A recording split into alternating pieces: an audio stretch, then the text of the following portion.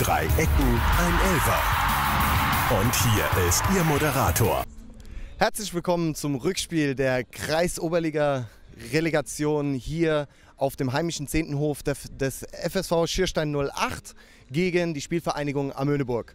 Ich habe vor dem Spiel schon mit beiden Trainern gesprochen. Beide Trainer sind sehr, immer noch sehr zuversichtlich, dass sie es heute packen werden. Bei äh, schönem Wetter mit 35 Grad haben äh, beide Mannschaften überhaupt keine Lust in die Verlängerung zu gehen. Ähm, ja, wir erwarten deshalb einen heißen Kampf. Lange Rede, kurzer Sinn. Wir gucken uns das Spiel einfach an. Viel Spaß bei Dreiecken, ein Elfer. Danke, Mike.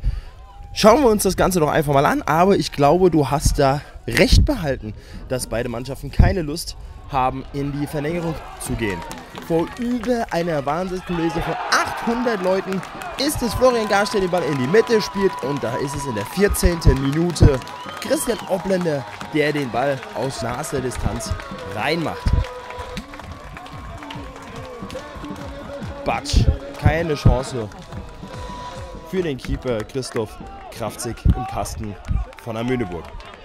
Ja, 14. Minute und da steht es auch schon 1 zu 0 für die Schiersteiner, die ja ein 1 zu 2 wieder wettmachen müssen. Dann Eckball wieder für Schierstein und wer geht da hoch? Das Kopfballmonster Kevin Akuyo, AK04 auch genannt. Der springt da in den Schiersteiner Himmel und köpft das Ding rein. Sensationell.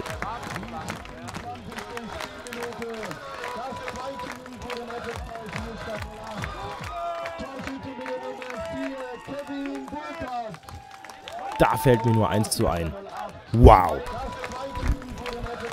Was ein Monster. Unglaublich. 2 zu 0 nach nur 22 Minuten schon für die Schilsteiner, die sich damit schon auf dem richtigen Weg befanden. Dachten sie.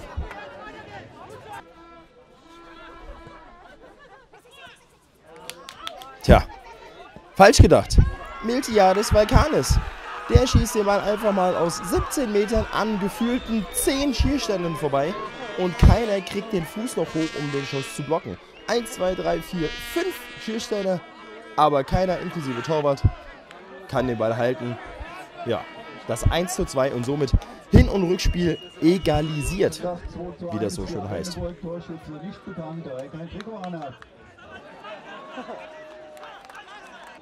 Dann gab es ein Duell, das hatte man auch schon im Hinspiel gesehen. Christian Obländer gegen den Keeper von der Möhneburg im 1 gegen 1. Und Obländer versagen die Nerven vor dem Kasten und vor Christoph Kraftzig, der lange, lange, lange stehen bleibt und das Ding dann auch noch richtig gut hält.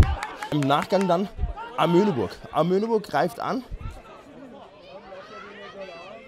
Aber schön gehalten von Patrick Schön im Kasten, der 08er. Am Möhneburg jetzt langsam wieder ein bisschen wach geworden und äh, mit mehr Vorwärtsdrang. Jetzt über Dimi Zackers, der das Ding unnachahmlich reinmacht. Schnörkellos und trocken. Somit bleibt Amöneburg in der Liga. Wenn es denn so bleibt. Erstmal ging es aber in die Pause. Das war das sogenannte psychologisch wichtige Tor vor der Halbzeit. Aus der Halbzeit kommt dann Kraftzig mit einem seiner vielen langen Abstöße, Abschläge, mit denen die Schichtener gar nicht zurechtkamen. Und das hier, das hätte auch ein Elfmeter sein können. Gut, dass der Schiedsrichter es nicht so gesehen hat, aber Demizakas schüttelt hier zu Recht den Kopf, weil da war der Arm mehr draußen, als dass man sagen könnte, Körpereinsatz. Und wieder einer dieser langen, ewig langen Bälle, die den Schüchterner Abwehr richtig viele Sorgen bereiten. Ja, und nicht nur der schüchterne Abwehr, sondern auch dem Keeper Patrick Schön, der hier leicht unglücklich aussieht und den Ball nicht richtig trifft und der dann auch noch so einen dummen Drall kriegt, dass er ins eigene Tor rollt. Zum 2 zu 3 aus Schiersteiner Sicht. Kevin Akuyo, der hier leider auch an den Ball vorbeispringt.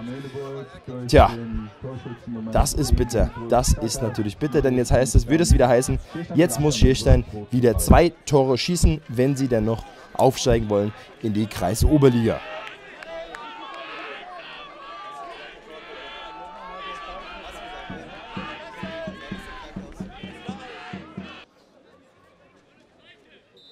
Dann mal wieder eine von den gefährlichen Freistößen von der Möhneburg. Das kennen wir noch aus dem Hinspiel.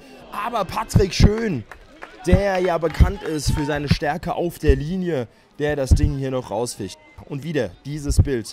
Torwart Kraftschick mit langem, langem Ball. Der Ball wird hinten raus nicht richtig geklärt. Und da ist Dimizakas. Aber auch hier wieder Patrick Schön mit einer guten Parade. Der trotz des Patzers ein richtig guter Rückhalt der 08er ist. Und wieder steht die Möhneburger vor dem Tor vor Patrick Schön. Und er hat den Fuß wieder draußen. Also jetzt muss man wirklich sagen, hat Schirstein auch Glück, dass sie da nicht vielleicht sogar schon 4 zu 2, 5 zu 2 zurückliegen. Und Amöneburg weiter. Und jetzt Achtung. Was eine Katze. Dass er das Ding noch hält. Unglaublich. Patrick Schön so schnell unten gewesen. Sensationell. Dann die Schlussphase. Die wurde nochmal richtig spannend. Schlicht mal mit einem Standard. Und wer steht da in der Mitte? Meffert. Lukas Meffert aus drei Metern. Der Innenverteidiger er macht das 3 zu 3. Jetzt ist nochmal alles offen. Jetzt fehlt noch ein Tor bis zur Verlängerung, von der der Mike hier eigentlich schon im Eingang gesprochen hatte, wo beide Mannschaften eigentlich nicht hin wollten. Aber jetzt heißt es nur noch einen Treffer und dann ist man der Kreis Oberliga nahe, beziehungsweise am Möhneburg der Kreisliga A. Am Möhneburg weiter nach vorne. Da sind sie wieder im 16er mit dem Schuss von Pavlov Georgiades. Aber der war gar kein Problem für den Schiersteiner Keeper. Dann die Schiersteiner nochmal mit langem Ball in den 16er. Und da stehen sie zu dritt alleine vor dem Tor. Aber keiner, wirklich keiner kriegt es gebacken, den Fuß dran zu bekommen. Und damit bleibt es beim 3 zu 3. Was heißt, Amöneburg bleibt in der Kreisoberliga auch nächste Saison und Schierstein muss einen neuen Angriff starten in der Kreisliga A. Ich finde, wir haben ein gutes Spiel gesehen und ich freue mich schon auf die nächste Saison. Das letzte Quäntchen Glück hat gefehlt, deiner Meinung nach? Oder warum hat es zu dem, zu dem lang ersehnten, sage ich mal, 4-3 dann nicht gereicht? Ja gut, Glück brauchst du immer so ein bisschen. Das hast du beim 3-2 bei denen gesehen. Ja, der Torwart faust das Ding weg und dann geht der trotzdem rein. Gut, auf der anderen Seite, wir haben halt letztendlich dann die Staffelung dann nicht, nicht, drin gehabt. Wir haben dann versucht, mit langen Bällen zu arbeiten und das hat dann, dann nicht so funktioniert. Das heißt, da musst du einen kühlen Kopf bewahren, musst du gucken, dass du die Staffelung drin hast, dass du versuchst zu spielen, um durchzukommen. Aber gut, so ist das in der Hektik bei 850 Leuten. Ähm, wenn du da draußen stehst, ist immer was anderes, als wenn du spielst. Deswegen machst du den Jungs keinen Vorwurf. Ich kenne das. Das ist okay. Richtig. Und ähm, Mund abwischen, obwohl es jetzt schwer ist heute.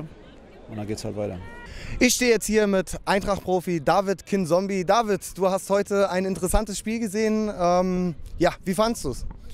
War auf jeden Fall sehr unterhaltsam und ähm, Spannung war sehr hoch, war sehr schön anzugucken und ähm, bis zum Ende war die Spannung aufrechtzuerhalten und äh, man wusste nicht ganz, wie es ausgeht und habe natürlich hier den Schierstein ein bisschen die Daumen gedrückt. Okay. Ja. Wie kam das, äh, dass du hier dieses Spiel angeguckt hast in deinem Urlaub von Eintracht Frankfurt? Ja, wie gesagt, ich habe jetzt Urlaub und ähm, ich komme ja hier aus der Gegend, bin hier aufgewachsen und ähm, habe dann mitbekommen, dass die Schiersteiner sich gut geschlagen haben in der Saison in der Liga und es war ja groß angekündigt, dieses Spiel und war auch viel los. Ich glaube, um die 1000 Zuschauer hatten wir hier. Ja, 805 waren es. Ja, da habe ich mir gedacht, das schaue ich mir natürlich gerne an. Ja, meine Damen und Herren, das war's hier vom heimischen Zehntenhof. 3-3 der Endstand. Am Münneburg bleibt der Kreis Oberliga erhalten. Ähm, Schierstein bleibt in der A-Klasse. Wir freuen uns aber auf jeden Fall auf nächste Saison und denke ich, machen jetzt erstmal ein bisschen Urlaub. Aber nächste Saison sind wir auf jeden Fall wieder dabei bei Dreiecken ein Elfer.